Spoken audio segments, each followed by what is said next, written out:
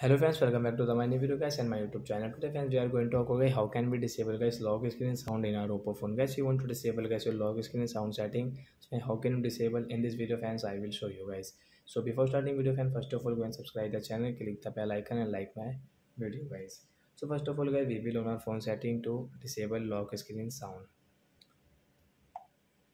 Then guys, scroll it friends, you can see your sound and vibration setting. Friends, tap here again scroll guys you can see guys your mouse sound and haptic setting tap here as you can see your lock screen sound setting so friends right side icon guys you will have to click so we will disable our lock screen sound and guys if you lock your phone and when you will unlock your phone you can lock and guys you can unlock your phone without this lock screen sound setting so that's it guys thanks for watching the video guys we will meet on next video guys with new topic before going guys please go and like the video subscribe the channel bye bye friends